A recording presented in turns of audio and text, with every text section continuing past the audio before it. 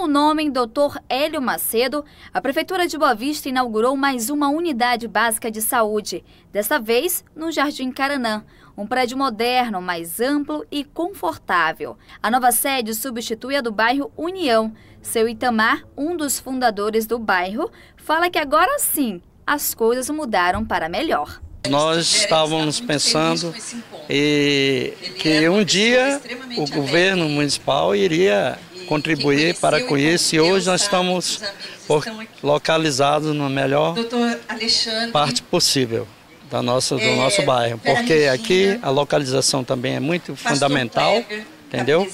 Como também agora a prefeita contribuiu para o asfaltamento da Joca Farias e outras coisas mais. Estou feliz demais. Ficando mais bonito, né?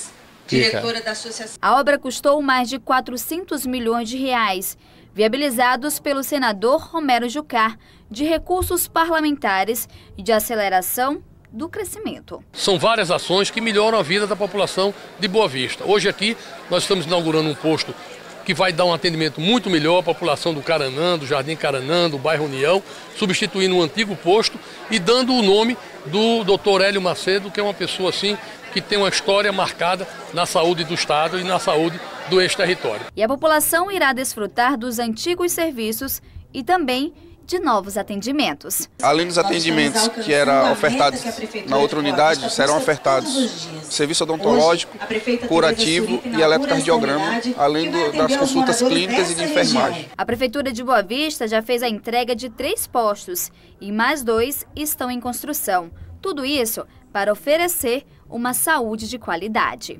Esse ano nós temos já três unidades entregues, nós temos mais duas para ser entregues até o final do ano. Tem outras unidades sendo reformadas e construídas. O hospital infantil também está sendo reformado, já o segundo bloco. E nós temos avançado muito na questão da saúde. Graças a Deus, a equipe, todo o trabalho que vem sido desenvolvido tem feito com que as pessoas possam ter um atendimento melhor. Não está faltando remédio, nem médico, ou seja, a gente pode comemorar que esse ano foi um ano que a gente avançou muito na saúde.